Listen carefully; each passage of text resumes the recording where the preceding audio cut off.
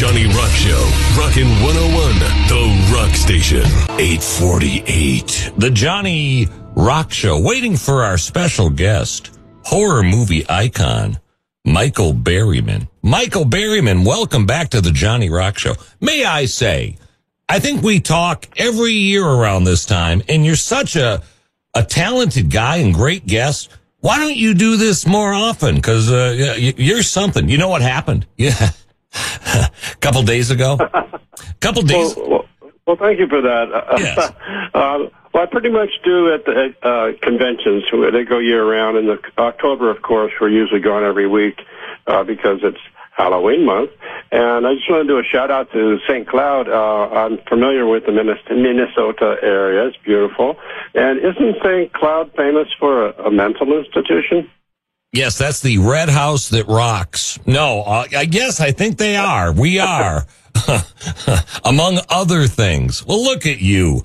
You look at you. You're so so smart. Well, you. I'm not so smart. I was going to say, two days ago, I am sitting around and uh, I, I'm I'm doing what one does when you're home by you know two in the afternoon when you do morning radio, and there on my cable, just starting was something called The Devil's Rejects by Rob Zombie that I had never seen. And there you were, right in the middle of the movie, huh?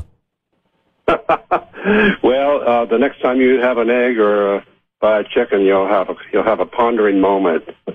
oh my God, yeah. Well, uh, you know, two minutes ago, I played the original trailer, part of it, from the original The Hills Have Eyes. Was that your first feature? Actually, it was uh, number three in in my memoir, which I would like to do a shout out. Uh, if you get, it's on Amazon, and it's called "It's All Good," and it's the story of uh, my life as uh, and how I was born with birth defects. It happened to be that my dad was a Navy brain surgeon uh, attached to the Marines, and he went to Nagasaki and Hiroshima, and there becomes my glowing radioactive life and I I um, I tell the story from the child's point of view. It's a memoir, and I, I arc it all the way through to when I got discovered by George Pal, totally by accident. So I worked one day on Doc Savage, uh, Warner Brothers George Pal, who did uh, War of the Worlds. I met him and he goes, ah, you have a face. I want to put your face in my movie and here's the story. And I go, love the story. Worked one day getting ready to uh, go to Alaska and homestead. I love the, the mountains and all that. And I got a phone call from Michael Douglas's office and they said, hey, looks like you've had skull surgery with, with some lobotomy scars. You could play Ellis in the movie we're doing. I go, uh, what movie is that? And they go, Cuckoo's Nest. And of course, I said yes. And after 127 days of uh, learning and, and, and having an incredible uh, life changing experience. Uh, when I left there, I ran into a gentleman by the name of uh, Wes Craven, and he said, "You want to be a cannibal in a horror, low, uh, in a low budget horror movie out in the desert, 16 millimeter? We're going to rock and roll and kick." And I go, "Sure." Oh. And w- we played it so raw and real there was one moment in Hills Have Eyes where the, the grandpa, uh, the father is, is going back to the gas station. He's talking to Grandpa Fred, and then he just got through trying to barter uh, with Ruby because you know he, was all out of food. And the father goes, uh, "What's all that stuff?" And he goes, "Oh, that's nothing."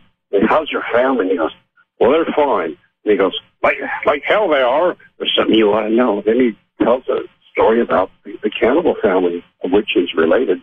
And he goes, so I took a tire iron and I split his face wide open. And the father goes, well, well, how bad was it? You know, and I tell Wes Craven, I go, Wes, that always makes me laugh. He goes, yeah, it's a bump in the road. What happens right after that? And I go, well, right after that, oh, never mind. That's so he knew how to set you up, a sting, and it was absolutely been a life changing, uh, wonderful experience because I've had friends for life: Peter Locke, Barry Cohn, um, Janus Blythe, and, and the rest of the gang. And uh, I met some other uh, members of our family, like you know Bill Moseley, Kane Hodder, etc. It's been quite a ride. Oh my God! Yeah, our guest is horror movie icon Michael Berryman. He's also uh, been in an Academy Award winning Best Picture of the Year, One Flew Over the Cuckoo's Nest, and how did you get in the smoking in the boys' room Motley Crue video? You know, that's a that's a great question. Um, I, I've done two videos with uh, with Van, and when I got the phone call, my agent goes, uh, old school agent, you know, uh, uh, Errol Flynn mustache, what, gray hair, and he goes, "Hey kid, I got you a gig." I go, hey, "That sounds funny, gig from you. What, what's going on?" He goes, "You're gonna go meet a band on Saturday. They're called Mötley Crüe." I go, uh, "Never heard of them." So I get so I get there, and sure enough, it's, it's the guys. And I wasn't familiar with their music at all, but they were so nice, and they were big fans of The Hills Have Eyes. So the, the uh, and Weird Science, you know. So the, they said, "Come on, let's let let's do this," and and we did, and uh, they were they were professional, fun, hardworking, talented guys. And one of the funniest things about uh, smoking in the boys' room is that at the end, when Nikki, uh, uh, uh, Nikki Sixx reaches in and takes my toupee off, and they make that funny little face, Yeah. and then I wiggle my ears. well, it was very popular for many, for many, many, many months, and one day it aired on MTV, and there was no ear wiggle. Thousands and thousands of people phoned in to MTV and said, "You got to put the ear wiggle back." Oh. Now, I, this was unbeknownst to me. Uh, a couple, about a year later, I was doing some voice uh, uh, recording for a film I'd worked on, and the guy in the recording booth said, "Hey, here's my worksheet. I made a copy of it for you, and it says, do this, do this, do this. Motley Crue smoking in the boys' room, ear wiggle, four seconds, reinsert." So I just want to do a shout out and thank you to all the fans because you made somebody put my ear wiggle back in because you thought it was funny. Well, you know, like, all right. from the fans, thank you. You're really uh, an inspiration. I, I'm telling you, seriously. You uh, you you don't let any uh, disability, if you will, get you down, and you've had a hell of a career, and it just keeps going. Uh, plug that book again, Michael. Yes, it's called It's All Good by Michael Berryman. It's available hardback, paperback, and Kindle, Amazon. Just go to Amazon, Google It's All Good. You'll see the cover. It's a picture of my sister, my father, and me. Um, it's red and black. And it, I invite the reader inside the head of this young boy, me, and you're in a comfortable chair and you're experiencing his entire life through his eyes and emotionally also. And it's about the boy. It's not about the movie star. You mentioned the, the first three films that I did toward the end. I'll do a biography later. I want to do a voiceover version of it.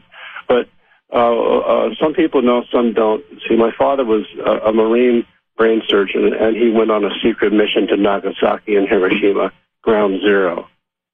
And of course, he came home very tired. He uh, got, uh, of course, he was radiated, and that's what caused my birth defects. And then, uh, and then he got uh, polio. I was in an iron lung, but he did survive.